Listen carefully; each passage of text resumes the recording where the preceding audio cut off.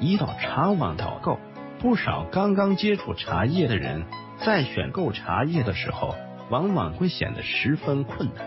他们喝茶还只是一种爱好，喝的品种和数量都不多，买茶全凭自己的口感喜好，或者是全听别人忽悠。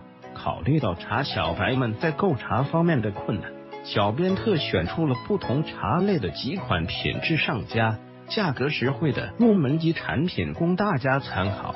今天为大家推荐红茶的入门级产品，推荐一：意见茶坊古韵原生态古树红茶。推荐理由：古树红茶滋味甜润，古韵原生态古树红茶是意见茶坊今年新上市的产品。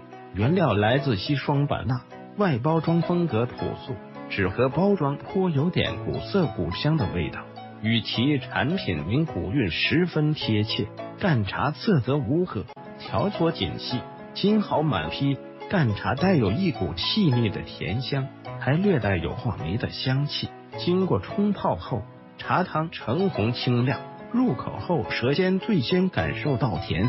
然后甜感慢慢的蔓延到舌根，汤质醇滑，有种别样的山野气韵，这也是古树红茶的魅力。点评：近年来古树红茶市场火热，引得不少茶友的关注。因其原料的特殊性，市面上古树红茶的品质参差不齐，价格也是相差甚远。作为茶小白，在选购古树红茶的时候，可要擦亮眼睛了。推荐二，尚明轩红星闪闪英红九号。推荐理由：性价比高，滋味清甜。近年来，英德红茶作为红茶的后起之秀，逐渐在红茶市场崭露头角。小编推荐的这款尚明轩红星闪闪金红九号，包装简洁，实用性强。干茶最突出的特点就是浓郁的毫香和薯香，干茶不喝有金毫。条索的紧结度也不错，冲泡后茶汤橙红上亮，香气以薯香为主，略带有蜜香，还有淡淡的花香。茶汤入口饱满，汤香十足，回甘和生津都很好。从叶底上看，有少数叶片是青褐，与其轻发酵工艺有关，使得茶叶香气更浓郁，口感更柔甜。点评：与古树红茶相比。英德红茶更适合用来调饮，对于不少爱喝红茶的女性来说，既能轻饮又能调饮的英德红茶，自然是日常生活中不能缺少的了。推荐三：前茶联盟遵义红茶一级推荐理由：汤香十足，滋味甜爽。遵义红茶也是目前热门的特色红茶之一，产自贵州遵义。